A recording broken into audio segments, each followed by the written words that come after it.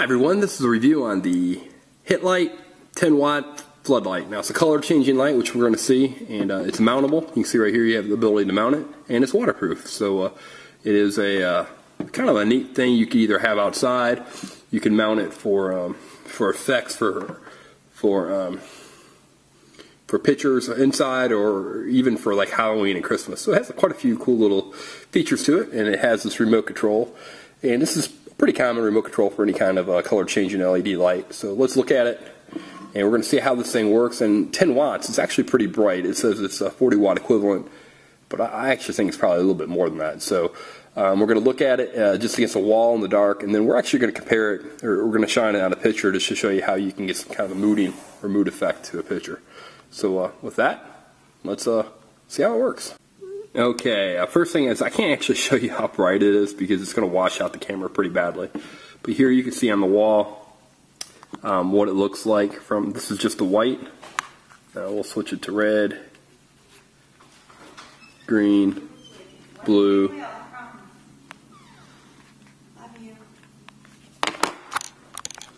Okay, so this is the white light. Now I can't show you exactly what it looks like straight on because it'll completely wash out the the camera, but you can see it's white. Now we can, we can rotate through some of the colors here. So let me pull the remote out in front of it.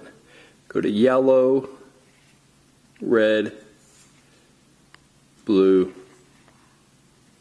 purple, and even green here. So you can see you get a lot of, you actually get pretty bright light now. Let's look at a picture that we have. Now I'm going to do it from an angle because the cord actually isn't long enough for me to fully um, set it up right in front of it. So there's green. So again, you can get different effects here. So we'll turn it to red, green, blue. And again, if you adjusted it correctly, it will bring out the different contrast in the picture itself. So we can go to purple. And now you can start to see that it does have some differences to it. So that's one of the ways that you can use it to uh, for an accent piece in, in, in, artwork or just for uh, for uh, other features in your home. Okay, a few more thoughts on the uh, light here. It does have different modes, so you have like a flash mode where it changes colors. You have a strobe mode, I assume in white. You have a uh, fade where it fades from color to color. We'll see that here in a second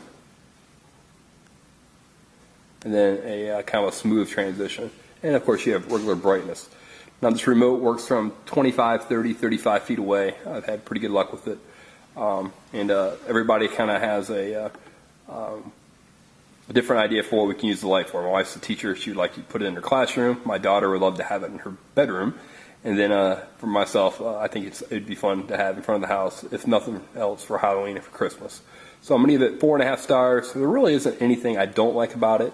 Uh, maybe wish that the cord was a little longer than what it is, but uh, at this price point, you really are going to have a hard time finding a better LED floodlight than this. So um, it's a great value, and uh, it definitely is something you should take a look at if you're interested in a color changing floodlight.